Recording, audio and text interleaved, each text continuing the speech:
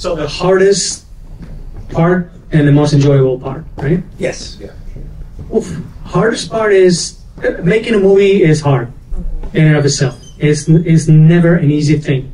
It doesn't matter what the budget is. You will face problems, um, a different kind depending on the budget that you have, but it's always a very complicated thing. And the most enjoyable, I gotta say, it is today when I can finally put it out there for all of you.